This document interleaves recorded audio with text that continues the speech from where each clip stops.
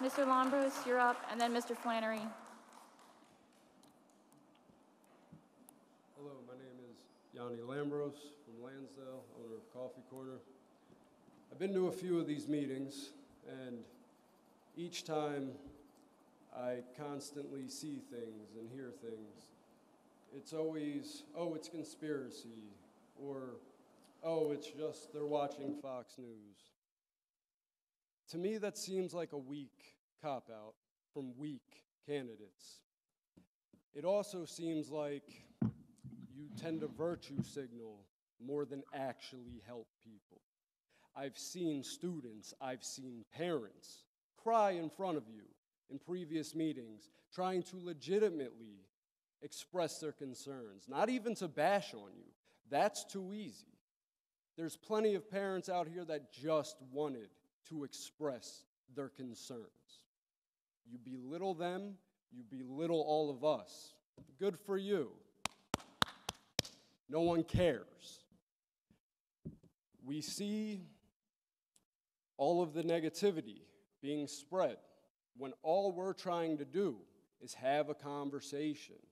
But you don't want to have a conversation. You just want to sit there, lecture, and virtue signal so you can get votes.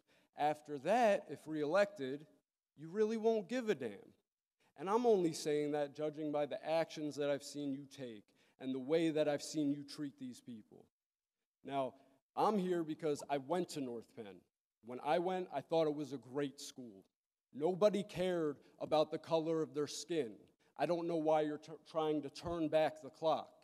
People, if they had problems with each other, the other students at that time, it was usually for other things that normal teenagers go through. You know, maybe somebody was talking nonsense, or a girlfriend or a boyfriend, or this or that, not because of their background. The community's waking up, the community sees you. I've seen you and heard you be called out multiple times. We remember, we don't forget. Your little friend who was there with the pink hat, two mask, I think she's here tonight, at Penndale, was the reason the cops were called that night, even though you like to say it was us being rowdy, even though we were nothing but respectful. Worst thing we did was, God forbid, talk back to you. My apologies. The community is waking up, and they will turn out. November 2nd, they will be voting for Kennedy, Snyder, Bradica, and Froelich. Many people will be voting you out.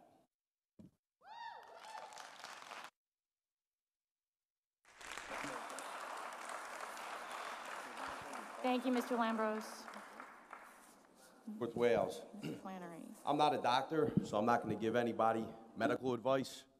But what I am going to do is give you some medical advice from Dr.